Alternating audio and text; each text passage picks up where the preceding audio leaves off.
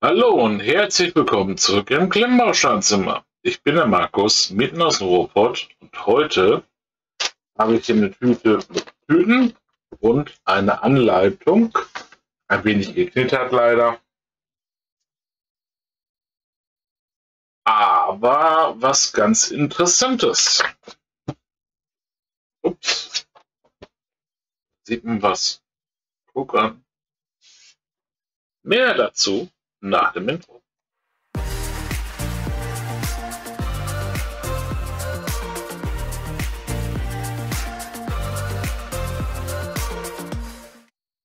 Wir haben hier aus der Fantasy Magic World Harry Potter mit der Nummer 60, 70 und 777 Teile von 8 bis 14 Jahren mit 1, 2, 3, 4, 5, 6 Minifiguren dabei. So sieht das Ganze aus. So von hinten, hier mit ein paar Details, da, so. Hm. Es hat eine verblüffende Ähnlichkeit mit dem Lego Harry Potter Set die heulende Hütte und die Peitschenweide mit der Nummer 76407. Hm, ja, die hat auch 777 Teile und ist ab 9 Jahre plus. Ja, was sagt uns das? Ist wohl ein Klon. Nee, aber bezahlbar. So, dann schauen wir. Hier in Dicke 2. Ich habe dann mal diese Stunden gezackt.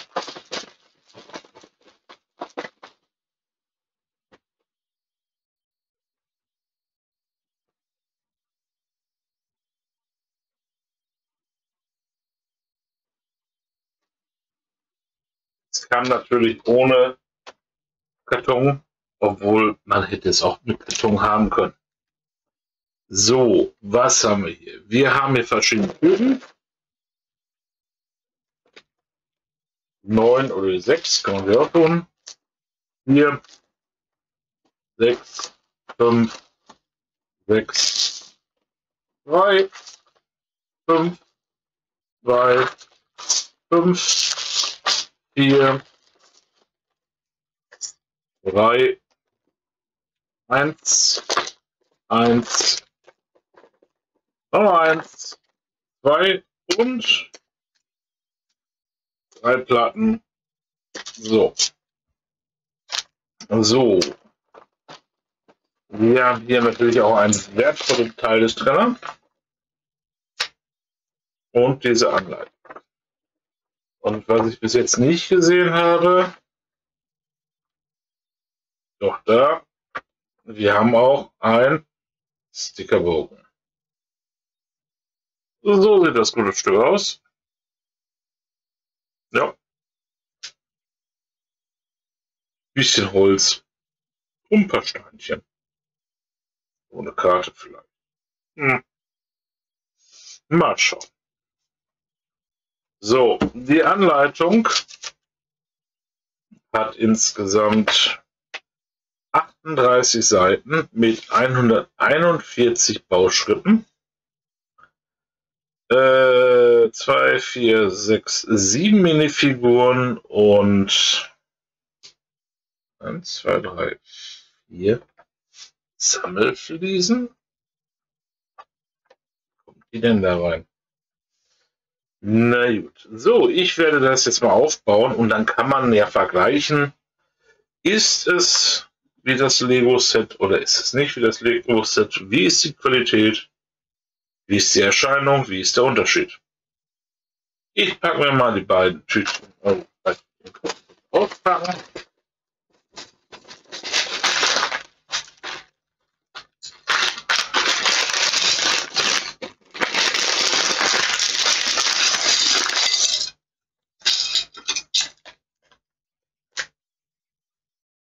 eins.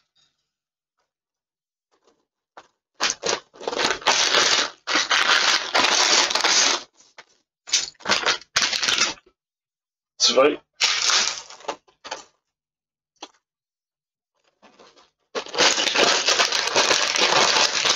Und Kette drei. Es gibt keine Bodengrundplatte. Dann haben wir das durchsichtig. Noch was in durchsichtig.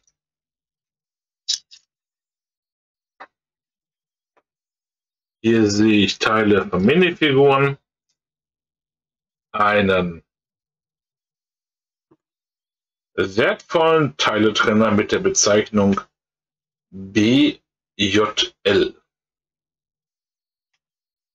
Also könnte das Set ein BJL 6070 sein. Dann haben wir hier ein Steinbergmassiv. Ja, und ich sehe schon zwei Figuren. Und wenn ich das richtig sehe, müsste das einmal eine Hermine Granger sein und ein Ron Weasley eventuell. Die werde ich dann jetzt mal zusammenbauen und dann melde ich mich gleich wieder. So.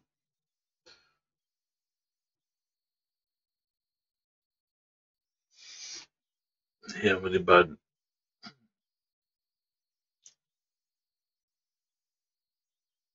Figürchen. Ja, mit Mini-Bärnchen.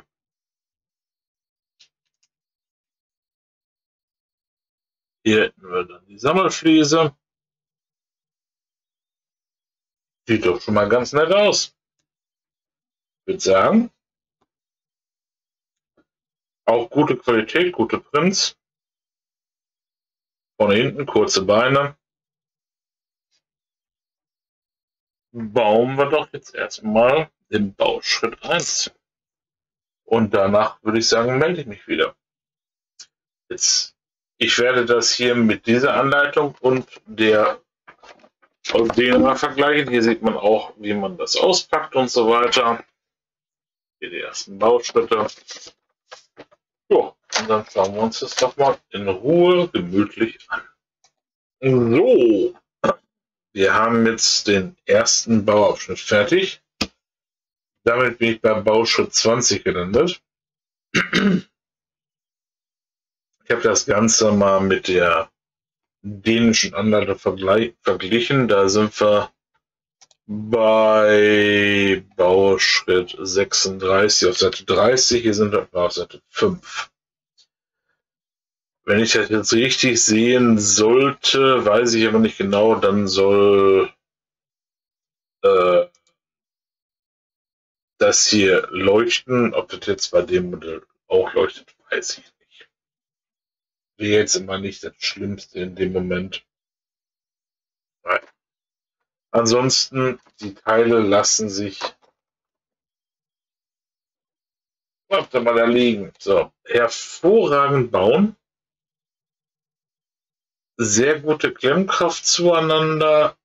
Richtig smooth, quasi wie bei den dänischen Steinen auch. Also, ich habe schon schlechtere gehabt.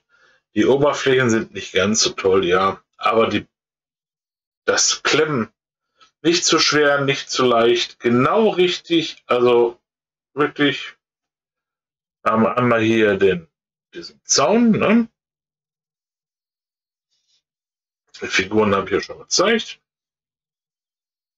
So, und dann haben wir Duos hier, wobei man das hier dann drehen kann. Ja.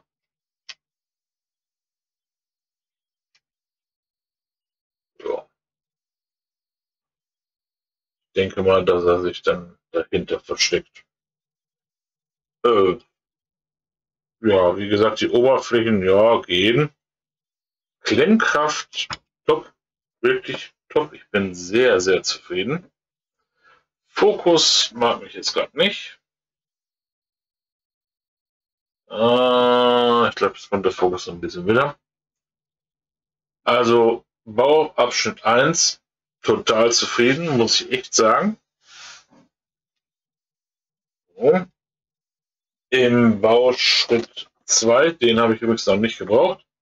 Im Bauschritt 2, das sind hierbei zwei Tüten. Ähm, geht es um eine Minifigur und um die Weide, würde ich sagen. Mit einer Funktion in den da drüben, wo hier sogar angezeigt wird, wie man einen Elektromotor anschließen könnte, wenn ich das richtig sehe. Der würde bis Baustein 36 gehen und Seite 9. Also nicht allzu viel. Ja, werde ich da mal bauen. Ob ich das jetzt heute mache oder morgen, für euch ist derselbe Tag. Äh, weiß ich noch nicht, aber ich gucke es mir auf jeden Fall an. Bis gleich. So, jetzt Tüte 2.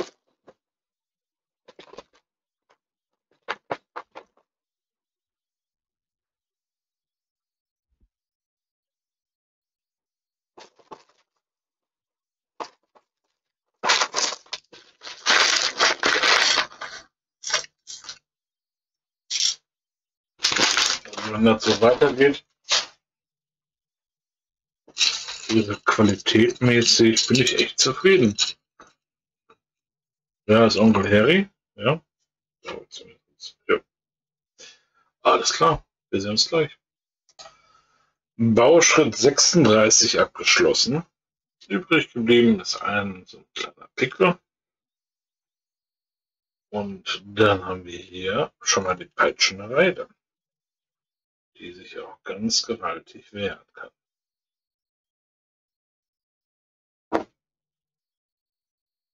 So sieht hier aus. Ja. Aufkleber sind jetzt nicht drauf. Ne?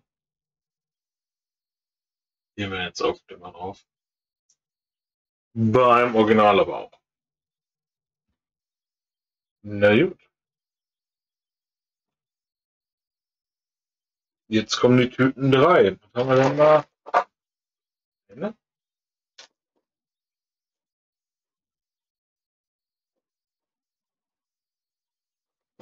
Zwei. Zweimal die Nummer 3.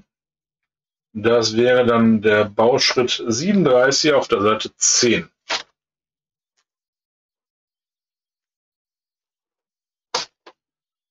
Bei Lego wäre ich dann, glaube ich, irgendwo auf der Seite 45, Bauschritt 65. Uh.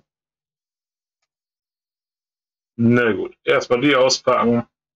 Achso, hier Klein Harry war auch dabei und natürlich hier. Ne?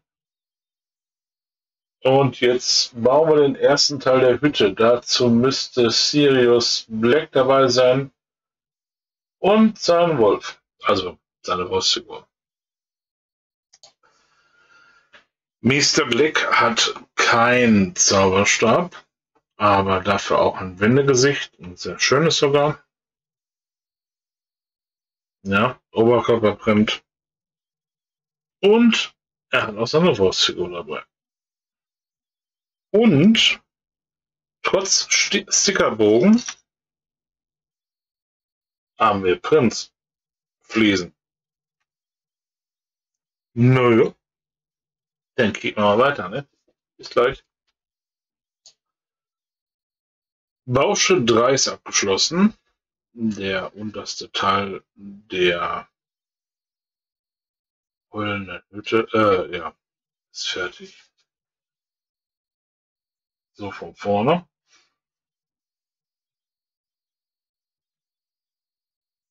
So von hinten. Hier in der Truhe ist sogar was drin. Da kommt ein Aufkleber drauf, regulär. So.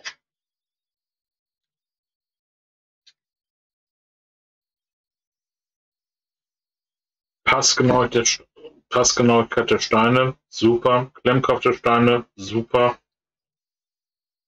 Alles da und ganz smooth am Klemmen. Wirklich schön, wirklich top. Ich bin echt zufrieden. Jetzt kommt Bauschritt 4. Das sind wieder zwei Tüten. Ja. Dann geht's weiter. So, Seite 23. Bauschritt 75 abgeschlossen. Äh, Tüten 4 fertig. So von vorne. Schöner Kamin. Da so. Innen hat sie noch nicht wieder viel getan. Es fehlen ein paar Aufkleber. Aber ansonsten und hier oben drauf halt die. Jetzt kommt 5. Ist jetzt ein Stockwerk oben drauf. Aber bis jetzt, sage ich mal, schön. Ein paar Angriffspunkte an der Seite, aber ansonsten sind die Steine top. Also ich bin sehr, sehr zufrieden, muss ich ehrlich sagen. Super schöne Teil. Also Klemmkraft, Smooth, alles. Ja, bin zufrieden.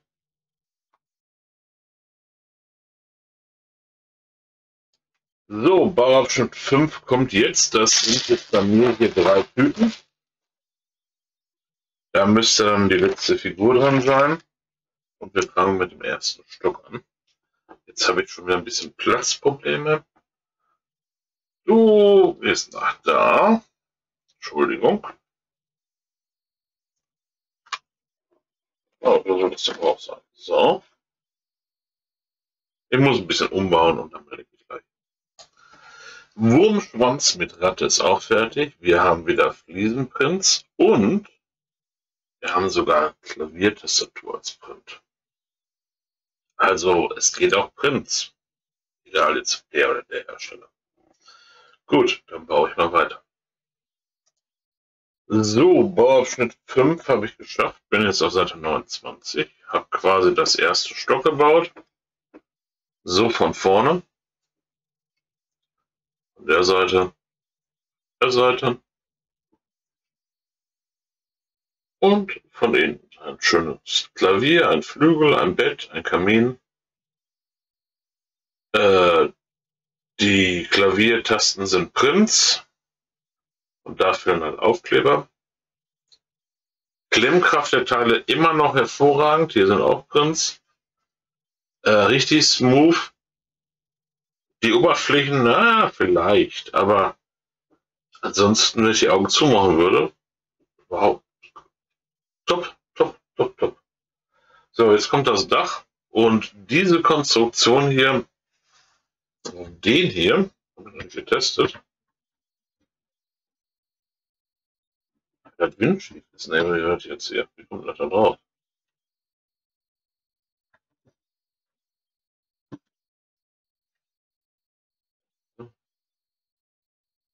Das richtig, weil es so windschief ist? Bin mir nicht sicher. Ich gucke gleich mal. Alles klar. Bis gleich. So, jetzt kommt der letzte Bauschritt 6 von Seite 29, Bauschritt 101. Geht's los. Und soweit sind wir bis jetzt gekommen. Schön windschief. Ich bin im Moment vom Bauen her sehr zufrieden. Und ich packe mal aus.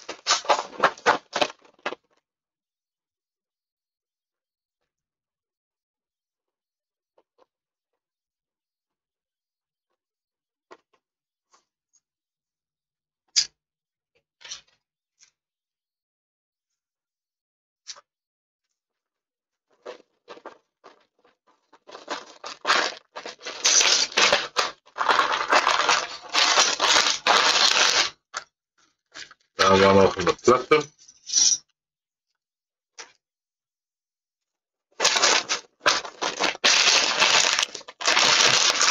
Und den Werwolf. So, das sind die letzten Teile. Und die werde ich jetzt noch machen. Alles klar. Bis gleich. Also, jetzt haben wir dann den Dachstuhl schon ziemlich weit vorangetrieben. Ähm, muss ehrlich sagen, Teilequalität ist immer noch sehr, sehr gut. Bin sehr zufrieden. Und die Klemmkraft bzw. ähm, Aufnoppen, da tut sich wirklich nichts. Also wirklich, ähm,